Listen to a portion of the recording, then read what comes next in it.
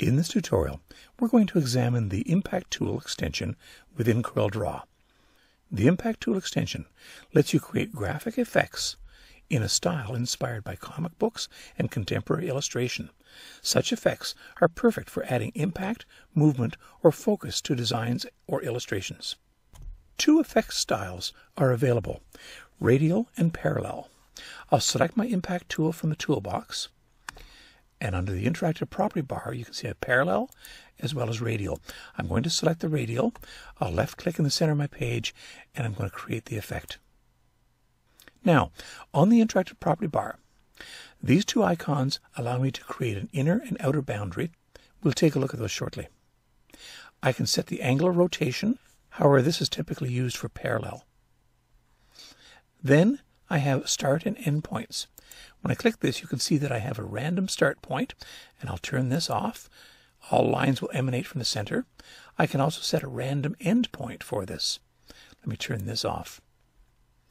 Here we have the ability to set the line width. I'm going to leave this at 0.001, and I'm going to change this to 0.1. Next, I have the ability to add the number of steps. I'll set this at 8.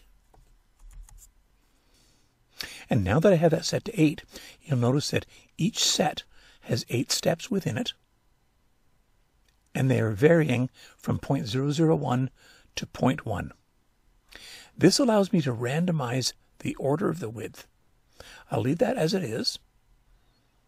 Next, I can change the line spacing between them. I'm going to set this to 2.0 and 2.0.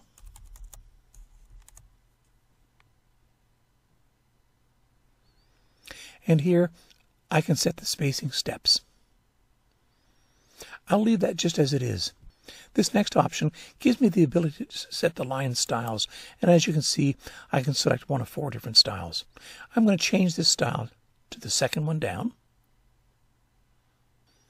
And this 85, that represents the widest point within that line. It's at 85% of the line. So you'll see that if I change this down to, let's say, 50%, that's going to change where my widest point on the line is. Let me put that back to 85%. And now we'll take a look at these two options here. I'm going to start by importing a graphic image.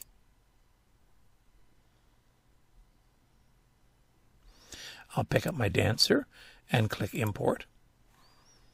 And now I'm just going to click and drag and put him in the center of this object.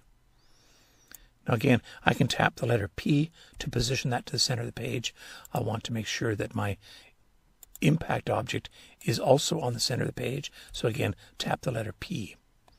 Now that my object is selected, clicking on this icon allows me to create an inner boundary. Note the cursor I have. I'm going to simply click on this object, and that's going to trim for me. I'll deselect my impact object, select my dancer, and delete. And so that's the type of effect we can create using the inner boundary. Let's take a look at the outer boundary now. I'm going to go on to the next page. I'll create another radial impact object.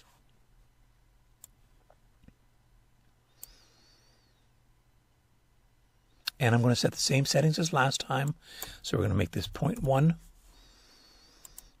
I'll change this one to, let's go 10 this time. I'm going to set my line spacing to 2 and 2. And we leave the line style as it is. Now I'm going to select a perfect shape. So from my toolbox on the left-hand side, I'll select basic shapes and I'm going to select the heart. Left click and drag, and I'll create the heart on my page. Let's give this a different color just to make it easier to see. And I'll tap the letter P on the keyboard to position that in the center. I want to make sure that this is center, so I'll tap the letter P for my impact object as well. And now from the interactive property bar, I'm going to select outer boundary. I'll click on this icon, come over here with this cursor, click on the heart, and you can see that it'll automatically remove the object from around the outer perimeter of this. I'm going to select my heart and delete it. And the final thing I want to do with this is simply change the color. So I'll left click on the red. Okay, now let's take a look at the parallel impact tool. From my toolbox on the left hand side, I'm going to select my impact tool. On the interactive property bar, I'm going to select parallel. Now with this tool, simply a matter of left clicking and dragging, and I can create either a rectangle, a square. I'll create my shape. Tap the letter P to go to the center of the page. For this one, I want to make my beginning and my end random. I'm going to change the angle of rotation on this to 22.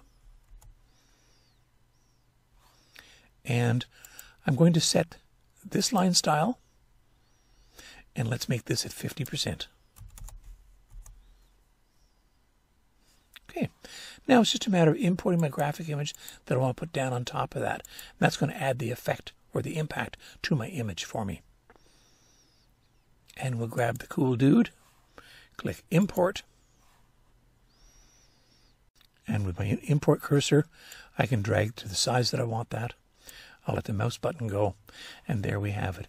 Very quick and very easy to add impact and effects to your documents using the impact tool. That brings us to the end of this short tutorial on the impact tool. If you found this tutorial on YouTube while searching for training content, be sure to head on over to the Discovery Center at learn.corel.com for more equally informative videos.